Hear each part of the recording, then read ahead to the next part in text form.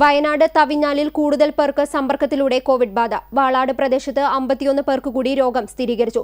Antigen പരിശോധനയിലാണ് രോഗം കണ്ടെത്തിയത്. വാളാട് സ്വദേശിയുടെ മരണാനന്തര ചടങ്ങിന് ശേഷം നാട്ടിൽ രണ്ട് വിവാഹ ചടങ്ങുകൾ നടന്നു. ഇതിൽ നിരവധി പേർ പങ്കെടുത്തു. ഇതാണ് രോഗവ്യാപനം കൂടാൻ ഇടയാക്കിയത്. ഇതിനെ തുടർന്ന് വിവാഹവും മരണാനന്തര ചടങ്ങും നടന്ന വീട്ടുകാർക്കെതിരെയും പങ്കെടുത്തവർക്കെതിരെയും കേസെടുത്തിട്ടുണ്ട്. മരണാനന്തര ചടങ്ങിൽ പങ്കെടുത്ത നൂറ്റി എൺപതോളം പേർക്കെതിരെയും വിവാഹത്തിൽ പങ്കെടുത്ത നാനൂറോളം പേർക്കെതിരെയുമാണ് കേസെടുത്തത്. തവിഞ്ഞാൽ എടവക തൊണ്ടനാട് ഗ്രാമപഞ്ചായത്തുകളിലും മാനന്തവാടി നഗരസഭയിലും ഓഗസ്റ്റ് അഞ്ചിന് രാവിലെ ആറു മണിവരെ സമ്പൂർണ ലോക്ഡൌൺ പ്രഖ്യാപിച്ചു. സംസ്ഥാനത്തു തന്നെ ആശങ്കാജനകമായ സാഹചര്യമുള്ള പ്രദേശമാണ് വാളാടെന്ന് കഴിഞ്ഞ ദിവസം മുഖ്യമന്ത്രി വ്യക്തമാക്കിയിരുന്നു.